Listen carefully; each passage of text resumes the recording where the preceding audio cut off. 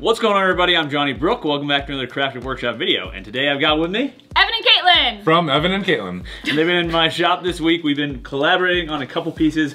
I built these Live Edge end tables with wireless charging built in, and they built an awesome Live Edge coffee table. Both of these feature a flat pack base that we did on the X-Carve CNC, and we're both really happy with how they came out. Yes. Yeah, so stay tuned. So before we get started with this build, I wanted to give a quick shout out to Chromebooks for sponsoring this video. Google sent me a Samsung Chromebook Pro that I've been using for the past couple of weeks, and it's been an awesome addition to my workflow, both in the shop as well as when I'm on the go. We modeled this project in Fusion 360, and it was super cool to be able to reference the model while out in the shop, especially with the touchscreen on the Chromebook. But I'll talk a little bit more about that later. Let's go ahead and get started with the build. I picked up this live edge walnut slab from a friend of mine and have been hanging onto it for a few months trying to figure out what I wanted to do with it. Unfortunately, the pith of the tree runs right down the center of this slab, so there was a decent amount of cracking and bowing I had to deal with, so I figured cutting the slab into a few pieces to make a pair of end tables would be perfect. There was an awesome looking crotch section on this slab that I'll definitely be hanging onto for use later, but I'm still not sure what I'm going to build with it, so if you have any ideas, let me know in the comment section below. I left the two end-table pieces as one piece while I planed down the slab since they would end up at the same thickness that way and it would also help to reduce the amount of planer snipe I had to deal with. After planing the slab, I moved over to the drum sander just to smooth things out a little bit further, but this really is an optional step. After getting the slab cleaned up, I noticed that some of the bark was a little bit fragile, so I decided to stabilize it with some CA glue. And this thin CA glue is great for this it soaks right into the bark and then I could add some activator to make it dry super quickly. Next, I broke down the slab into two pieces, and it's always a little tricky cross-cutting slabs since you really don't have a good reference point for making the ends parallel. I like to use a framing square to mark a line, and then I can reference off of that line for my second and third lines. I cut the slab using my track saw, which is really the perfect tool for this task, but a circular saw and straight edge would work really well too. With the slab pieces cut to final size, I could get started on the base of the end tables. And as I mentioned in the intro, this project was kind of an experiment in flat pack furniture design, which means that the pieces can all connect together without the need for glue, making it really easy to disassemble them later for shipping or moving. I wanted a chunky looking base to kind of match the top, but I also wanted something that was easy to mill on my Inventables X-Carve, so I decided to use two pieces of 3 quarter inch Baltic birch plywood laminated together. First, I broke down the 5x5 sheet of plywood on the table saw, first ripping it in half and then cross-cutting one of the halves in half again, giving me two 30 inch by 30 inch pieces.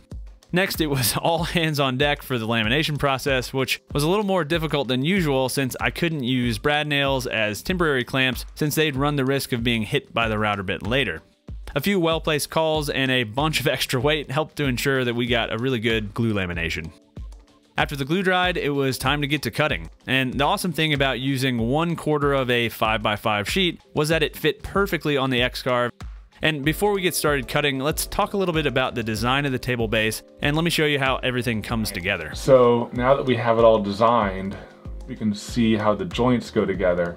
These mortise and tenons right here will plug into the top, and this right here, when it's all assembled, it'll hold it. So when the weight is pushed down, these yep. are gonna wanna spread and this will hold it in place. So anywhere these joints connected, since a router bit is round, we had to add what are called dog bones. And these little areas allow the router bit to get in and clear out the waste, which essentially gives you a square corner that things can join together. And then we got your wireless charger. We modeled in the like disc of the charger itself, but then also where the power supply protruded. And we could do it out of any material really. Like you could sub in eight quarter lumber rather than mm -hmm. you know mm-hmm. double laminated three quarter ply. You can use the same leg design, yep, swap out the top, yep, and it can be a, a bench stool. or a stool, yeah, not yeah. a bench.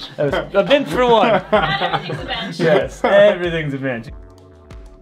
Now that you've seen how everything comes together, let's see how the pieces were cut on the X-Carve. As you can probably see on these first two legs, we were getting a ton of tear out on the edges of the plywood. And after struggling through those first two legs, Evan found a setting in Fusion 360 that was set as default to run as a climb cut, which is the opposite direction you typically want when running a router on wood. After correcting that setting, the cut quality difference was night and day, and the legs ended up with almost no tear out. You can really see the difference in the legs in the foreground versus the legs in the background here. Luckily, there was enough extra space on the piece of plywood that the couple of screwed up legs didn't force us to laminate another piece of plywood. During the cutting process, I used tabs to hold the legs in place, so I needed to cut the tabs to remove the legs from the blank after the cutting was finished. And I just used a 3 quarter inch chisel and mallet to do this, and it makes really quick work of the process. And after removing the legs, we were all amazed at just how clean they were right off of the X-Carve. Look at all those layers of plywood, so, so satisfying.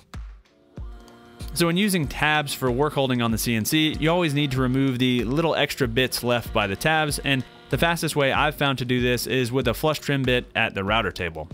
After removing the tabs, I switched to a chamfer bit and chamfered all the edges of the legs, except for the inside of the joints and the tenons. It's really amazing how much of a difference adding the chamfer made in the look of the legs. It really took them from looking like chunks of plywood to almost finished looking pieces pretty much instantly. Back at the X-Carve, I milled the center stretcher that connects the three legs out of a single layer piece of 3 quarter inch plywood, and once again I used tabs to hold them in place. To remove the tabs this time, we decided to use a rasp rather than a flush trim bit since I'd already swapped that out for the chamfer bit and didn't feel like changing it back. And we had a quick ghost moment while rasping. Yeah. yeah. Oh my gosh, this, this is Instagram right here. oh my gosh. Cool. Next, I chamfered the edges of the stretcher, just like with the legs, and then we could finally do a quick test assembly. We realized we actually forgot to change the dimension of the joints between the stretcher and legs to be the actual thickness of the plywood and not just 3 quarters of an inch, which plywood is never actually 3 quarters of an inch thick, so they were a little bit loose, but they were still plenty strong enough and the base looked awesome. Next, it was time to cut the mortises into the bottom of the slabs. And instead of just going for it on the first try, we decided to run a test cut on a piece of plywood just to confirm that our spacing and sizing of the mortises would work. There's always a fine line between too tight and too loose when milling mortises this way, so it's really helpful to do a test cut here just to confirm your settings. And once the test cut fit nicely, it was time for the main event, cutting the mortises into the slabs, which went really smoothly. After the mortises were done, we could finally test fit the whole piece, and it was incredibly strong even with no glue. I was really excited with how the piece was coming along, to say the least. Next, it was time to cut the pocket for the wireless charger, which I only built into one of the end tables. And this was a pretty simple operation, but I needed to pay close attention to the actual depth of the pocket so that the layer of wood left after routing was thin enough for the charger to work through, but wasn't so thin that the tabletop was too fragile. And we did a little testing before running this and found that the charger worked well through an eighth inch thick piece of wood, so that gave us our final depth for the pocket. After cutting, I test fit the wireless charger and it fit perfectly, and most importantly, it worked. With all the routing done on the bottom of the slabs, it was time for the glue up. And while this base probably didn't actually need to be glued together, I figured I might as well since I don't plan on shipping it or moving it anywhere, so before the glue up, I made sure to sand everything thoroughly. And while I'm sanding, let's go back and talk about the sponsor of this week's video, Chromebooks. As I mentioned in the intro, I've been using my Samsung Chromebook Pro for a few weeks now, and it's really filled a void in my tech lineup. It's an awesome combination of tablet and laptop, and since I manage a lot of my files and my business and personal email with Google, it's super easy to access my work on the go. Chromebooks are perfect for taking to a coffee shop and working on my voiceover scripts, responding to YouTube comments, editing photos, or whatever I might need to get done that day, and its battery life and super lightweight make it awesomely portable. So if you'd like to learn more about Chromebooks, click the link in my video description below, and thanks again to Chromebooks for sponsoring this video. After the glue up, I needed to make something to hold the wireless charger in place. I just cut out a small block of scrap walnut to roughly fit the hole, leaving plenty of room around the edges for airflow, and then attached the block to a strip of walnut with CA glue. To attach the block to the slab, I added two inch and a quarter screws. And while this definitely isn't the most elegant solution in the world, no one will ever see it and it works perfectly. I also added some cable clips to the back of the back leg to keep the cable from being seen, and the charger installation was done. And with the charger in place, I could plug it in and try it out again, and it worked perfectly. While sanding the slabs, I noticed that they each had a good number of voids where the pith of the tree ran through the slab, and I decided to fill these voids with a little West Systems epoxy and was amazed at how much epoxy soaked into these voids. Filling these areas with epoxy will definitely help to stabilize these sections of the slabs and help to prevent them from cracking in the future. After letting the epoxy cure overnight, I came back with a block plane to remove the bulk of the epoxy and then smoothed everything out with 80 grit sandpaper. Finally, I gave both slabs a final sanding and used my air hose to blow out the edges of the slab, removing any loose pieces of bark. And I actually found this little guy hiding in one of the pieces of bark, so I'm really glad I removed those loose pieces. For the finish, I used a combination of wipe on poly and spray polyurethane, both from the same manufacturer. The wipe on poly worked great for the base and top and bottom of the slab, but the bark is really hard to get into with a wipe on finish. So to finish the bark, I applied plenty of spray polyurethane just to seal everything nicely.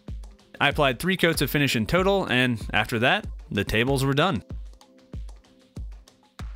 This is uh, the workout program.